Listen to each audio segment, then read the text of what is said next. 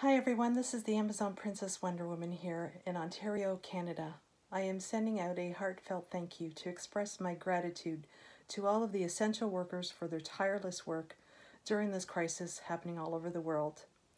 Those who are working front and center, they are the real superheroes, who are doing everything in their power to keep us safe.